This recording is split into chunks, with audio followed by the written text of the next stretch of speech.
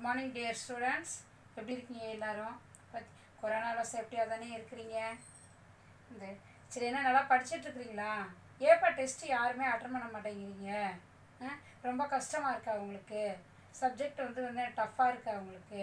அப்படிலாம் ஒன்றும் இல்லையே. உங்களுக்காக எவ்வளோ கஷ்டப்பட்டு எல்லாரும் வீடியோ எடுத்து போட்டுட்ருக்குறாங்க நீங்கள் ஏப்பா அதை நினைக்க மாட்டேங்கிறீங்க?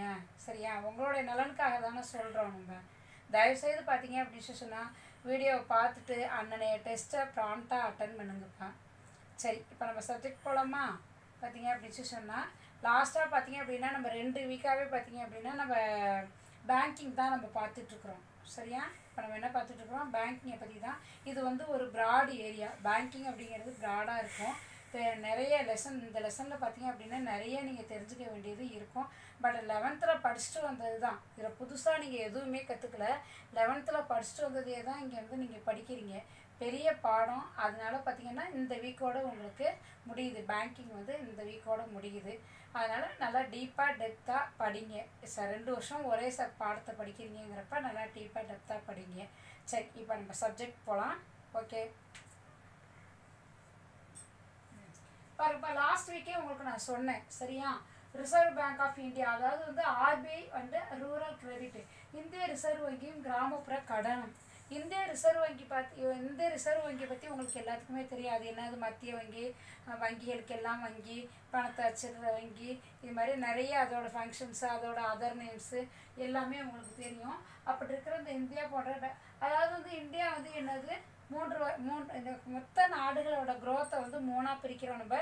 Developed country developing country below country அப்படின்னு நம்ம வந்து பிரிக்கிறோம். அப்போ நம்மளாம் வந்து எந்த கேட்டகரியில் இருக்கிறோம்? டெவலப்பிங்கில் இருக்கிறோம். அப்போ இந்தியா போன்ற டெவலப்பிங் கண்ட்ரியில் ரிசர்வ் பேங்க் வந்து மானிட்டரி ரெகுலேஷனை வந்து பணவியல் கொள்கைகளை ஃபாலோ பண்ணுறதோட மட்டும் இல்லாமல் அக்ரிகல்ச்சர் அண்ட் இண்டஸ்ட்ரியல் டெவலப்மெண்ட்டு ஃபங்க்ஷன்களையும் வந்து பண்ணுறாங்க அக்ரி விவசாயம் ஏன்னா நம்ம நாடு வந்து விவசாயம் நிறைந்த நாடு. ஸோ அதுக்கும் ப்ரிஃபரன்ஸ் கொடுக்கணும். பட் இண்டஸ்ட்ரீஸ்னாலும் டெவலப் பண்ணணுங்கிறதுக்காக இந்த அமைப்பு வந்து கிராமப்புறங்கள் கட கிராமப்புறங்களை வந்து முன்னேற்றணுங்கிறதுக்காக கடன் கொடுக்குறாங்க.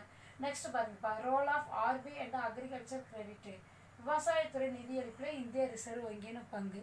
எனது விவசாயத்துறையில் இந்திய ரிசர்வ் வங்கி என்ன பண்ணுது அப்படின்னு சொல்லி சொல்கிறாங்க ஆர்பிஐ அக்ரிகல்ச்சர் கிரெடிட்டுக்காக மிக இம்பார்ட்டன்ஸ் கொடுக்குறாங்க.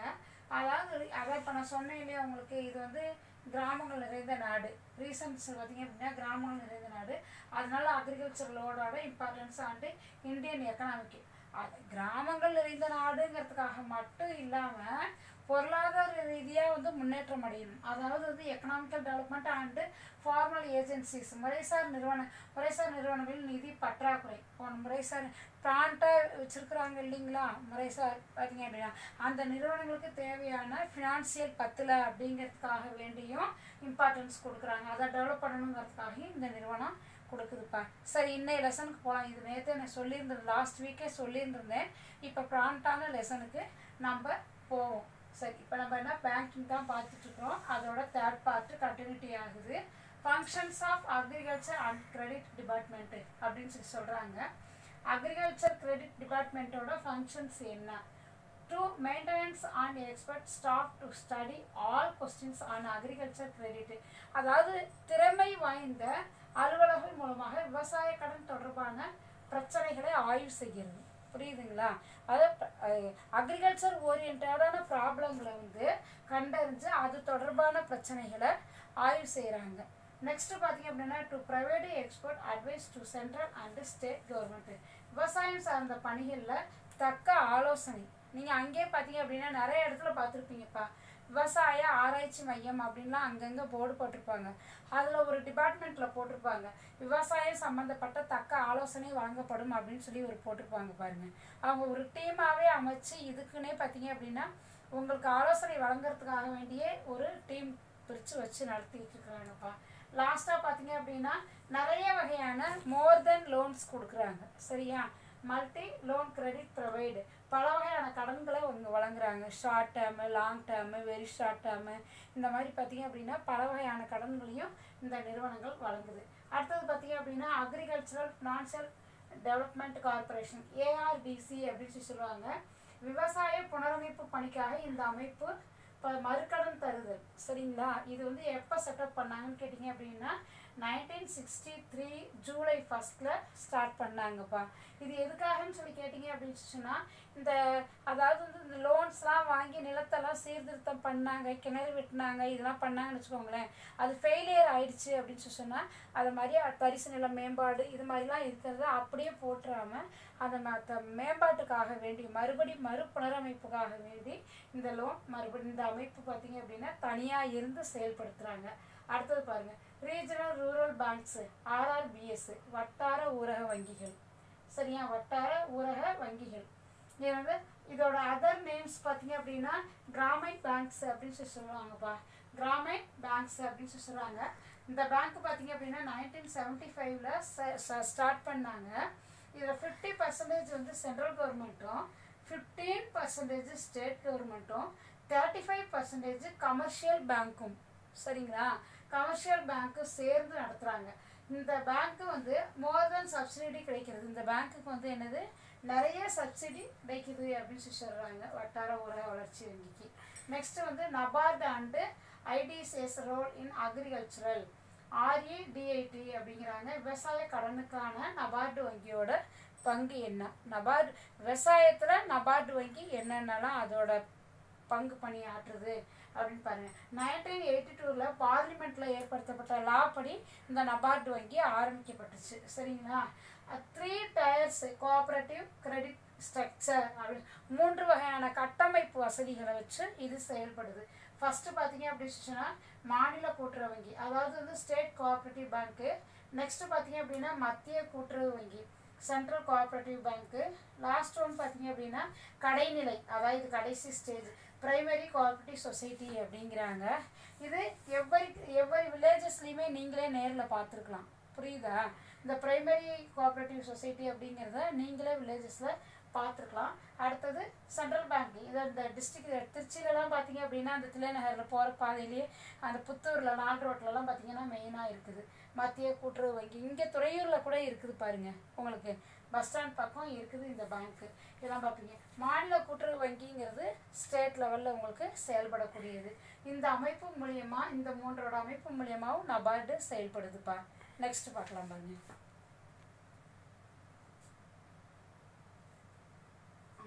நெக்ஸ்ட் பார்த்தீங்க அப்படின்னு சொன்னால் ஃபங்க்ஷன் ஆஃப் நபார்டு என்னது? ஃபங்க்ஷன்ஸ் நபார்டோட ஃபங்க்ஷன்ஸ் என்ன? ஃபஸ்ட்டு வந்து நேஷ்னல் பேங்க் ஒன்று தெரிஞ்சுக்கோங்க. நபார்டு வந்து ஒன் வேர்டில் கேட்பாங்க. நபார்டுங்கிற ஒரு அமைப்பு வந்து ஒரு தனியாக பேர் கிடையாது. ஒரு மொத்த பேரோட உங்களுக்கு ஷார்ட் ஃபார்ம் தான் நபார்டு. இதை ஒன் மார்க்கில் உங்களுக்கு கேட்கலாம். வாட் மீன் பை வந்து நபார்டு அப்படின்னு சொல்லி கேட்கலாம். இது என்ன? இதுக்கு இல்லாட்டி பார்த்தீங்கன்னா எக்ஸ்ப்ளனேஷன் கேட்கலாம். National bank for agriculture and rural development நப் அப்படிங்கிற விவசாயம் மற்றும் ஊரக மேம்பாட்டிற்கான தேசிய வங்கி அப்படின்னு சொல்லி சொல்கிறாங்க ஆயிரத்தி தொள்ளாயிரத்தி எண்பத்தி ரெண்டில் பார்லிமெண்ட்டில் ஏற்படுத்தப்பட்ட லா படி இதை வந்து என்ன பண்ண செட்டப் பண்ணாங்க. நெக்ஸ்ட் பார்த்தீங்க அப்படின்னா ரூரல் இது எதுக்காக ஆரம்பித்தாங்க அப்படின்னு இது என்னென்ன ஃபங்க்ஷன்ஸை செய்யுது அப்படின்னு பார்த்தீங்கன்னா ரூரல் டெவலப்மெண்ட்டு ஒவ்வொரு கிராமங்களையும் டெவலப் பண்ணுறது அக்ரிகல்ச்சர் டெவலப்மெண்ட்டு விவசாயத்துறையில் முன்னேற்றத்தை காண்றது. ஜாப்ஸ் ஆப்பர்ச்சுனிட்டிஸ் வேலை வாய்ப்பு முழு வேலை வாய்ப்பை கொடுக்கறது. Multi training. நிறைய ம மகளிர் மகளிர் செல்ஃப் சர்வீஸ் குழு குழுக்கள் மூலியமாகவும் இந்த கிராமப்புற இளைஞர்களுக்கு எல்லாம் வேலை வாய்ப்புக்காக வேண்டியும் நிறைய ட்ரைனிங்ஸுங்களை கொடுத்துட்ருக்குறாங்க. அதை இல்லாமல் பார்த்தீங்க அப்படின்னா short term long term very short term இந்த மாதிரி லோன்ஸுங்களையும் வந்து நிறைய கொடுக்குறாங்கப்பா. அடுத்தது பாருங்கள் ஆர்பிஐ அண்டு இண்டஸ்ட்ரியல் ஃபினான்ஸு தொழில் நிதியும் இந்திய ரிசர்வ் வங்கியும் அப்படிங்கிறாங்க. பிஸ்னஸ் செக்டர் தேவை பிஸ்னஸ் செக்டருக்கு தேவையான லாங் ஷார்ட் வெரி ஷார்ட் லோனை இந்த அமைப்பு உங்களுக்கு தருது. சரியா? இந்த செக்டாருக்கு பிஸ்னஸ் செக்டாருக்கு இது லோன் தருது. நெக்ஸ்ட் பார்த்தீங்க அப்படின்னு சொன்னப்பா ஆல் இண்டியா லெவலில் இன்ஸ்டிடியூஷன்ஸுங்க இது மாதிரி இந்த பிஸ்னஸ் ஓரியன்டாக ஆல் இண்டியா லெவலில் இருக்கிற நிறுவனங்கள் என்னென்ன? உங்களுக்கு ஃபைவ் மார்க்கில் கண்டிப்பாக கேட்பா ரீசெண்டாக அடிக்கடி கேட்டுக்கிட்டே இருக்கிறான். பார்த்தீங்க அப்படின்னு சொன்னால் இந்திய அளவில் உள்ள நிறுவனங்கள். ஒன்று ஃபஸ்ட்டு பார்த்தீங்க அப்படின்னு சொன்னால் industrial financial corporation of India IFCI அப்படின்னு சொல்லி சொல்லுவாங்க. இது என்ன பண்ணுதுன்னு கேட்டிங்கன்னா இதுதான் வந்து ஃபினான்சியலுக்காக புரியுதுங்களா? ஃபினான்சியலுக்காக ஃபஸ்ட்டு ஆரம்பிக்கப்பட்ட அமைப்பு ஐஎஃப்சிஐ தான் அப்படின்னு சொல்லி இண்டஸ்ட்ரியல் ஃபினான்சியலுக்காக ஆரம்பிக்கப்பட்ட முதல் அமைப்பு இதுதான் அப்படின்னு சொல்லி சொல்கிறாங்க இது எப்போ செட்டப் பண்ணாங்கன்னா நைன்டீன் ஃபார்ட்டி எயிட் ஜூலை ஒன்றில் செட்டப் பண்ணாங்க அப்படிங்கிறாங்க. ஓகேப்பா நெக்ஸ்ட் பார்த்தீங்க அப்படின்னா லாங் டேர்ம் லோன் கொடுக்குறாங்க இவங்க. என்ன எவ்வளோ லாங் டேர்ம் லோன்னா உங்களுக்கு? டுவெண்ட்டி ஃபைவ் இயர்ஸ்க்கு எபோ டுவெண்ட்டி ஃபைவ் இயர்ஸ் சரிங்களா? அடுத்தது ஈக்விட்டி ஷேர்ஸை இஷ்யூ பண்ணுறாங்க உங்களுக்கு. Next guaranteeing of loan ரைசரி in foreign இப்போ அது ஃபாரின் லோனுக்கு um, uh, வந்து என்ன பண்ணுறாங்க லோன் ரைசரி இன் ஃபாரின் வெளிநாட்டு கடன்களை நிறையா உங்களுக்கு வாங்கி கொடுக்குறாங்க. நெக்ஸ்ட் வெளிநாட்டு கரன்சிங்களை currency from foreign financial institutions வெளிநாட்டு பணத்துங்களை அது ஒரு தனி இன்ஸ்டியூஷனாக அமைச்சு அது மூலயமா அவங்க தான் ஹேண்டில் பண்ணுறாங்க சரிங்களா? அடுத்தது பார்த்தீங்க அப்படின்னா ஐசிஐசிஐ இது வெரி இம்பார்ட்டண்ட்டு அது நல்லா பார்ப்பா. ஐசிஐசிஐ அப்படிங்கிறது industrial credit and development corporation of India industrial credit and development corporation of India இந்திய தொழில் மற்றும் முதலீட்டு கழகம். This was set up on 5th January 1955 as a joint stock company on the advice given by a three-man missions sponsored by the World Bank. நல்லா கவனிங்க. இதை வந்து என்ன எது எதெல்லாம் சேர்ந்து அமைச்சிச்சு அப்படின்னு சொல்லி கேட்டிங்கன்னா இங்கே கொடுத்துருக்கேன் இல்லையா three man missions sponsored by the world bank the government of India next American government இது மூணும் சேர்ந்து தான் என்ன பண்ணாங்கன்னு கேட்டிங்கன்னா இந்த ஐசிஐசிஐ அப்படிங்கிற ஒரு அமைப்பையே ஏற்படுத்தியிருக்கிறாங்க உங்களுக்கு. இதில் இதை கேள்விப்பட்டிருப்பீங்க. நீங்களே இங்கெல்லாம் பார்த்தீங்க அப்படின்னா யாராச்சும் அது வந்து லோன் பார்த்தீங்க அதில் அக்கௌண்ட் ஓப்பன் பண்ணணுன்னாலே மினிமம் பார்த்தீங்க அப்படின்னு சொல்லி சொன்னால் தௌசண்ட் ருபீஸ் கேட்பாங்க உங்களுக்கு. சரிங்களா? ஐசிஐசிஐ பேங்க்கில் சரி இதில் இது என்னென்ன படுத்துது அப்படின்னு சொல்லி என்னென்ன ஃபங்க்ஷன்ஸை செய்யுது அப்படின்னு பார்த்தீங்கன்னா தொழில் கடன்களை வந்து முறைப்படுத்தி அளிக்கிறது பிஸ்னஸ் ட்ரேடிங் ட்ரேடிங் கிரெடிட்டை வந்து பார்த்தீங்க அப்படின்னா ஃபார்மல் ஆக்கி அதுலேருந்து உங்களுக்கு டிஸ்ட்ரிபியூட் பண்ணுறது மூலதன சந்தையை அதாவது கேபிட்டல் மார்க்கெட்டை வந்து ஸ்ட்ரக்சர் கொண்டுட்டு வர்றது. இதுதான் இதோட முக்கிய நோக்கம் அப்படின்னு சொல்கிறாங்க நைன்டீன் செவன்ட்டி த்ரீ முதல் இது தனக்கான நிதியை பன்னாட்டு மூலதன சந்தையிலிருந்து அதாவது இன்டர்நேஷ்னல் கேபிட்டல் மார்க்கெட்லேருந்து தான் தனக்கு தேவையான ஃபினான்ஸை பெறுது அப்படின்னு சொல்லி சொல்கிறாங்க நெக்ஸ்ட் பார்க்கலாம்ப்பா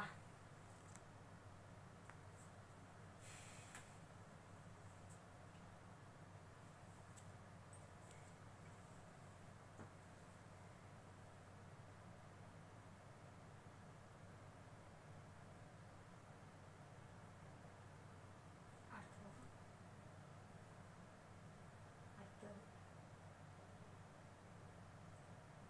இது முடிஞ்சிருச்சு ம். இதானே ம்.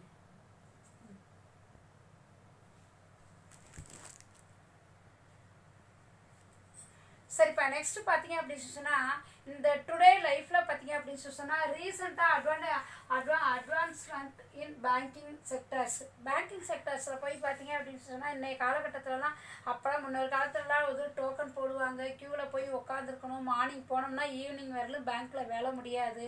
அப்புறம் அதை ஒரு நாளில் முடியாது. மறுபடி மறுபடியும் வந்து போயிட்டே இருக்கிற மாதிரி இருக்கும். அப்படிலாம் வந்து ஒரு காலகட்டங்கள் இருந்துச்சு. இன்றைக்கி நிறைய டெவலப்மெண்ட் ஆகி நிறைய நிறைய பார்த்தீங்க ஃபெசிலிட்டிஸ் இன்னைக்கு உங்களுக்கு வந்துருச்சு. அதில் பார்த்தீங்க அப்படின்னா என்னென்னலாம் வந்திருக்குன்னு பார்த்தீங்க அப்படின்னா இ பேங்கிங் அடுத்தது e banking e banking RTGS and NEFT ATM Paytm debit card credit card இந்த மாதிரிலாம் ரீசெண்டாக பார்த்தீங்க அப்படின்னா நம்மளுடைய லைஃப்பை எவ்வளோ ஈஸியாக்கி கொடுத்துருக்குது இன்றைக்கி e banking means electronical banking மின்னணு வங்கி மூலியமாக வந்து செயல்படுறது ஆட்டோமேட்டிக்காக வந்து.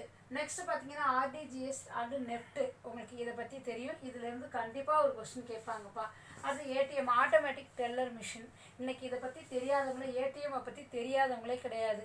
பாமர மக்கள்லேருந்து பா பாமர படிப்பறிவு இல்லாத மக்கள்லேருந்து ஹை லெவலில் இருக்கிறவரெல்லாம் இன்றைக்கி யூஸ் பண்ணுறது பணம் போடணும்னாலும் சரி எடுப்பணும்னாலும் சரி டே டு டே லைஃப்பில் லைஃப்பில் வந்து நமக்கு ரொம்ப ஒரு உற்ற நண்பனாக உங்களுக்கு இருந்துகிட்டு இருக்குது. அதை விட பார்த்தீங்க அப்படின்னு சொன்னால் இன்னும் அட்வான்ஸாக இந்த பேடிஎம் அப்படிங்கிறது இப்போ சமீப காலத்தில் பார்த்தீங்க அப்படின்னா ரொம்ப க்ரோத் ஆகிட்டு வந்துகிட்டு இருக்குது. இந்த பேடிஎம் மூலியமாக பார்த்தீங்கன்னா இன்றைக்கி நீங்கள் நேரில் அதை யூஸ் பண்ணி பார்க்கலனாலுமே டிவியில் அட்வர்டைஸ்மெண்ட் மூலியமாக கூட நீங்கள் நிறையா அதை பார்த்துருந்துருக்கலாம். சரியா?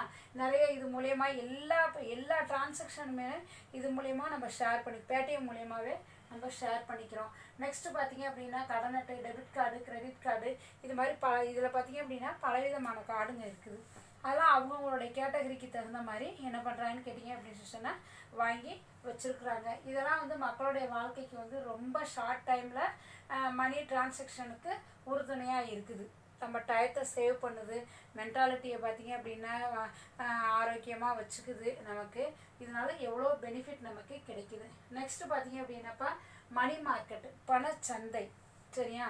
What mean by money market கண்டிப்பாக கொஷின் கேட்பாங்க. பணச்சந்தை என்றால் என்ன அப்படின்னு டூ மார்க்கில் கண்டிப்பாக கேட்பாங்க. அதாவதுப்பா அதிக நீர்மைத்தன்மை லிக்யூரிட்டி இருக்கணும் அப்படிங்க கொண்டதும் குறுகிய காலத்தில் வந்து முதிர்ச்சி இருவதும். பார்த்தீங்க அப்படின்னா நிதி கருவிகளை கையாளும் சந்தையை பணச்சந்தை அப்படிங்கிறாங்க. இப்போ என்னதுன்னு கேட்டிங்க அப்படின்னா மணி கோல்டு இதெல்லாம் வந்து நம்ம எக்ஸாம்பிளுக்கு வச்சுக்கலாம். சரியா? நிறைய பேர் பார்த்தீங்க அப்படின்னு சொன்னால் நிறைய விதமான டெபாசிட்டுங்களை கொண்டாந்து கொடுக்குறாங்க. திருப்பி உடனே அதை வாங்குறாங்க. இல்லைங்களா? அவ்வளோ ஜுவல்ஸ் கொண்டாந்து வைக்கிறாங்க. திருப்பி ஒன் இயர்க்குள்ளார அதை மறுபடியும் வந்து ரீச் பண்ணிக்கிறாங்க. அது மாதிரிலாம் ஈஸியாக ஹேண்டில் பண்ணக்கூடிய ஐட்டமாக இருக்கிறதுக்கு பேர் என்னன்னு சொல்லி சொல்கிறோம் நம்ம மணி மார்க்கெட் அப்படின்னு சொல்லி சொல்கிறோம் புரியுதா உங்களுக்கு? நல்லா நோட் பண்ணிக்கிங்க.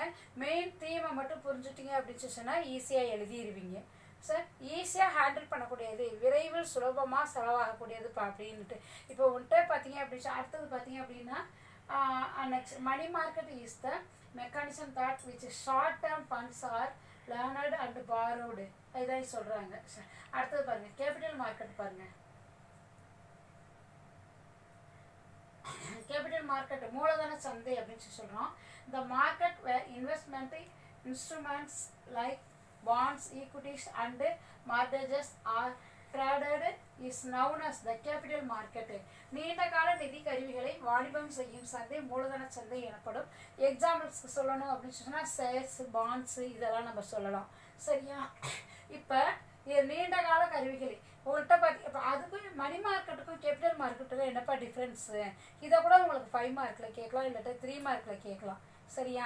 இதுக்கும் அதுக்கு என்ன டிஃப்ரென்ஸு உன் கையில் இப்போ பாக்கெட்டில் பணம் இருக்குது இல்லை உன்னோட ஏடிஎம் கார்டில் பணம் இருக்குது அப்படின்னு சொன்னால் நினச்சோடனே நீ என்ன பண்ணுவ?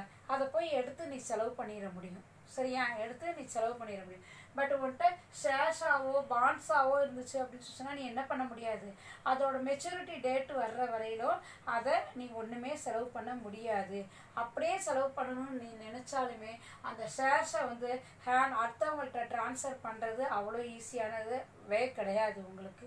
ஸோ இப்போ உங்களுக்கு என்ன சொல்லியிருக்கேன் நான்? கேபிட்டல் மார்க்கெட்டுக்கும் மணி மார்க்கெட்டுக்கும் உள்ள டிஃப்ரென்ஸு தெரியும். ஷார்ட் டைமில் செய் பணமாகக்கூடியது ரொம்ப லாங் டைம் எடுக்கக்கூடியது. எக்ஸாம்பிள்ஸ் உங்களுக்கு அதுக்கு சொல்லியிருக்கேன் இதுக்கும் சொல்லியிருக்கேன். இதை பார்த்தாலே நீங்கள் டிஃப்ரென்ஸு மூணு மார்க் கொஸ்டினில் கேட்டாங்கன்னா நீங்கள் தாராளமாக எழுதலாம். இதில் இருக்கிற மூணு பாயிண்ட்ஸையுமே எடுத்து எழுதலாம். ஓகேவா நெக்ஸ்ட் பாருங்கப்பா. லாஸ்ட்டு பார்த்தீங்க அப்படின்னு சொன்னால் இந்த பேங்கிங்கில் பணமதிப்பு நீக்கம். டிமான்ஸ்ட்ரேஷன்ஸ் அப்படின்னு சொல்லி சொல்கிறாங்க நல்லா கவனி. டெமான்ஸ்ட்ரேஷன் என்பது கவர்மெண்ட்டோட சட்டப்பூர்வ பண மதிப்பிலிருந்து. டெமான்ஸ்ட்ரேஷன் என்பது கவர்மெண்ட்டோட சட்டப்பூர்வ பண மதிப்பிலிருந்து குறிப்பிட்ட சதவிகிதம் பணத்தின் மதிப்பை செல்லாது என அறிவிப்பதாகும். பணத்தோட மதிப்பை ஒரு குறிப்பிட்ட பர்சன்டேஜ் வந்து அதாவது எல்லா பணத்தையும் செல்லாதுன்னு சொல்லி சொல்லாமல் ஒரு குறிப்பிட்ட பர்சன்டேஜ் வந்து செல்லாதுன்னு சொல்லி சொல்கிறதாகும் அப்படிங்கிறாங்க. இது பார்த்தீங்க அப்படின்னா இந்தியாவையே வந்து ஒரு பெரு நம்ம நம்மளுடைய லைஃப்பில் பார்த்தீங்க அப்படின்னு சொன்னால் ஒரு பெரிய புரட்சியவே ஏற்படுத்துச்சு. உங்களுக்கு எல்லாத்துக்கும் ஞாபகம் இருக்கா என்னன்னு தெரில ஒரு டூ ஆர் த்ரீ இயர்ஸ் அப்படியே முன்னாடி போய் பாருங்க. அப்படியே நினச்சி பாருங்க. அந்த ஒன் ஒன் நைட்டை நினச்சி பாருங்க. இந்தியாவில் டூ தௌசண்ட் சிக்ஸ்டீன்ஸில் நவம்பர் எட்டாம் நாள் திரு பிரதமர் திரு நரேந்திர மோடியால் இந்த இயக்கம் கொண்டு வரப்பட்டுச்சு. சரிங்களா? அப்போ எல்லாம் உங்களுக்கு ஞாபகம் நிச்சயமாக இருந்திருக்கும். விடிஞ்சா நம்ம பணம் எதுவுமே என்னது? செல்லாது அப்படிங்கிறதுனால இந்த நைட்டோட நைட்டாக எல்லா மக்களும் என்ன பண்ண ஆரம்பித்தாங்க ஏடிஎம்மில் ஏடிஎம்ல போடுறவங்களும் எடுக்கிறவங்களும் விடிய விடிய வந்து ஒரு புரட்சியவே இந்த அமைப்பு ஏற்படுத்துச்சு. இந்த ஐநூறுரூபா நோட்டு ஆயிரம் ரூபாய் நோட்டு மதிப்பிலான காகித பணம் மதிப்பு நீக்கப்பட அப்படி நீக்கிய பணத்தில் வந்து தொண்ணூற்றி ஒம்பது அப்படி நீக்கினார். சரிங்களா? ஐநூறுரூபா ஆயிரம் ரூபாயோட மதிப்புலாம் வந்து சுத்தமாகவே காகித பணம் மதிப்பு நீக்கப்பட்டுச்சு. அப்படி நீக்கின பணத்தில் பார்த்தீங்க அப்படின்னா தொண்ணூற்றி ஒம்பது பர்சன்டேஜ் வந்து இந்திய ரிசர்வ் வங்கிக்கு திருப்பி அனுப்பப்பட்டுச்சு. இந்த பணம் வந்து என்னது? இந்தியன் ரிசர்வ் வங்கிக்கு தொண்ணூற்றி ஒம்பது பர்சன்டேஜ் அந்த ஒரு பர்சன்டேஜ் தான் அப்படி இப்படி போனது. மீதி நைன்டி அது நைன்டி நைன் பர்சன்டேஜுங்கிறது நம்ம வந்து நிச்சயமாக உண்மையாக இருக்குமா அப்படிங்கிறது நம்மளுடைய நமக்கு தெரியலை. பட் கவர்மெண்ட் கணக்கு பிரகாரம் ninety nine percentage Indian reserve பேங்க்குக்கு திருப்பி போயிடுச்சு இந்த பணம் அப்படின்னு சொல்லி சொல்கிறாங்க இது ஏன்ப்பா இந்த பண மதிப்பு? நம்ம டெமான்ஸ்ட்ரேஷன் ஏன் கொண்டுட்டு வந்தாங்கன்னு கேட்டிங்க அப்படின்னு சொன்னால் இதோட ஆப்ஜெக்டிவ்ஸ் என்னன்னு பார்த்தீங்க அப்படின்னா பிளாக் மணியை வந்து என்ன பண்ணணும்? ரிமூவ் பண்ணணும். ஃபஸ்ட்டு பார்த்தீங்க அப்படின்னு சொன்னால் கருப்பு பணத்தை வந்து பார்த்தீங்க அப்படின்னு சொன்னால் ஒழிக்கணும். பிளாக் மணியை ஒழிக்கணும். நெக்ஸ்ட் பார்த்தீங்க அப்படின்னா லஞ்சத்தை ஒழிக்கணும். அடுத்தது ல தீவிரவாதத்திற்கு பணம் செல்வதை தடுக்கணும். சரியா? கள்ள பணத்தை தடுப்பது. இதுதான்ப்பா இதோட முக்கியமான ஆப்ஜெக்டிவ்ஸு இதுக்காக தான் வந்து இதை கொண்டுட்டே வந்தாங்க. இது மூலயமா பார்த்தீங்க அப்படின்னா அவன் பதுக்கி வச்சுருந்த பணத்தெல்லாம் வந்து என்ன பண்ணணும் ரிலீஸ் பண்ணணும் அப்போ நிறைய பேப்பர்லலாம் நீங்கள் படிச்சிருப்பீங்க. பார்த்தீங்க அப்படின்னா கோயில் உண்டியலில் கொண்டாந்து கட்டுக்கட்டாக போட்டாங்க. ரோட்டு ஓரத்தில் கட்டுக்கட்டாக பணம் கிடந்துச்சு. டிச்சிலலாம் கிடந்துச்சு. அப்படிங்கிற செய்திகள் வாசகங்கள்லாம் டிவி மூலியமாகவும் தொலைக்க அதை பார்த்தீங்க அப்படின்னா செய்தித்தாள்கள் மூலியமாகவும் நிறைய செய்திகளை வந்து நீங்கள் காதில் வாங்கியிருப்பீங்க. சரி அதுக்காக வேண்டி தான் இந்த டெமான்ஸ்ட்ரேஷன் வந்து கொண்டுட்டு வந்தார் அவர். அது மூலயமா புதுசாக திருப்பி ரீ ரீமணி வந்து சப்ளை பண்ணிட்டாங்க உங்களுக்கு. இப்போ ப்ராப்ளம் சால்வ் ஆயிடுச்சு உங்களுக்கு. ஓகேவாப்பா இப்போ இது வரையிலும் பார்த்தீங்க அப்படின்னு சொன்னால் டோட்டலி பார்த்தீங்க அப்படின்னு சொன்னால் பேங்க்கில் நீங்கள் என்னென்ன தெரிஞ்சிட்டீங்க? Money market capital market reserve bank central bank பேங்க்னா என்ன? ஒட்டு மொத்தத்தில் பார்த்தீங்க அப்படின்னா ரீசெண்டாக என்னென்னலாம் என்னென்ன ஸ்கீம்லாம் ப்ரொவைட் பண்ணியிருக்கிறாங்க? அக்ரிகல்ச்சரில் அதோட பங்கு என்ன?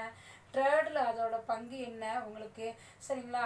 இந்த மாதிரிலாம் நிறைய பார்த்தீங்க அப்படின்னா இந்த பாடத்தை பொறுத்தவரையிலும் உங்களுக்கு ரீச் ஆகிருக்கா இல்லையாங்கிறது தெரியல. நிச்சயமாக என்னை பொறுத்தவரையிலும் திருப்தியாக இருக்குது எவ்வளோ நீங்கள் தெரிஞ்சிருக்கீங்க எவ்வளோ மெசேஜுங்க வந்து நீங்கள் தெரிஞ்சிருக்கிறீங்க. நல்லா படிங்க. ஆஃப்டர்நூன் வந்து கொஸ்டின் அனுப்புகிறேன் படிச்சுட்டு ப்ராண்ட்டாக எல்லாரும் தயவு செய்து டெஸ்ட் எழுத பாருங்கள் ரெக்வஸ்ட்டாக கேட்டுக்கிறேன் உங்கள்கிட்ட ஓகே தேங்க்யூ ஸ்டூடெண்ட்ஸ் பாய்